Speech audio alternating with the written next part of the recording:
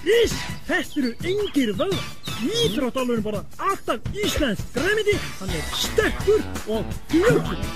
Ég sá hann gera svona, síðan tekur þér íslensk græmiti, tómata, agurkur og þetta er hann! Who did you expect? Hann er bara ekki búin að fá sér núna. Íslensk græmiti gefur kraft